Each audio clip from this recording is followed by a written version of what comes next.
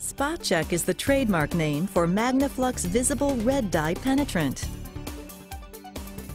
The Spot Check method uses colored dyes that penetrate surface cracks to facilitate detection. Spot Check has many benefits. It is excellent for field inspections. It is available in liquid or aerosol form. Spot Check shows up as vivid red in daylight. And Spot Check meets all major specifications. Penetrant processing requires more steps than magnetic particle testing. Step 1 is a very important step. All paint, grease, oil, sand, dirt, and scale must be pre-cleaned from the part in order to open cracks and allow the dye to penetrate. Step 2 is to apply the penetrant. Penetrant is available in water washable or solvent removable form.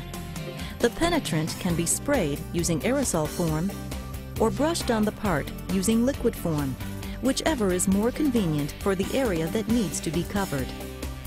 Allow the penetrant to dwell on parts for 10 minutes.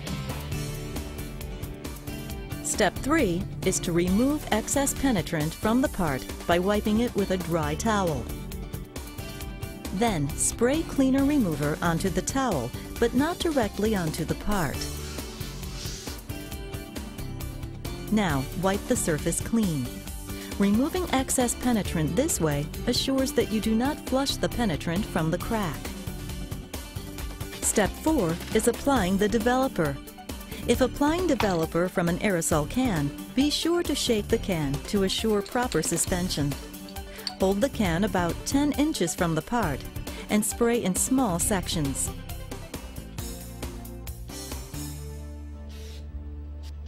Use just enough developer to wet the part and cover thinly and evenly. Step 5 is to inspect the part. Large cracks appear quickly as vivid red lines. Small cracks show up a few minutes later. If the crack is wide and deep, the red indication will be correspondingly large.